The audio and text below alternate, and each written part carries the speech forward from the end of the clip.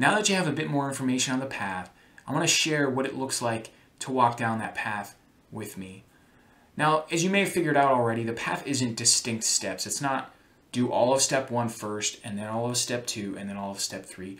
In many ways, they're intertwined, but each one of you is in a different place. You're all you all have different experiences, and everybody is at a different place in life with their relationship with God, with their relationship with their their ex-wife and maybe kids and whatnot, and even with friends and, and what that looks like. The key isn't necessarily to do each step fully before the other. The key is to know exactly what steps you need to do and at what time. And that's where I come in. I'm able to, uh, as I continue to get to know you and hear about your story, I'm able to identify exactly what action steps you need to work on so that you can continue to press progress down the path. And that's the advantage of the one-on-one coaching is that it's much more focused and tailored to your needs right now so that you can complete the action steps that you need to take in order to get uh, down the path and progress into healing and thriving. And this coaching process isn't supposed to be perpetual. It'll likely take between six and nine months for you to get to the place where you're continuing to move forward in life, uh, really as a new man. Now, the second option is group coaching.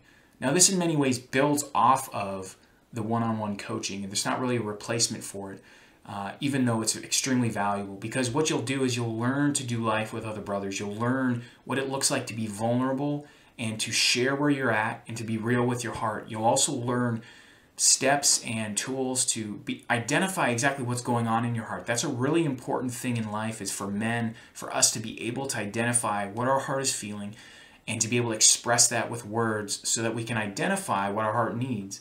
When we are sad or have another negative emotion, we understand, okay, where did that come from? And then we can provide what our hearts needs. It's a really important step in the journey of just becoming a man, but also in the healing and thriving journey that we're on.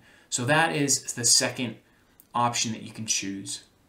Now, if you choose the one-on-one coaching, you automatically get the group coaching as well. There's no extra cost for that.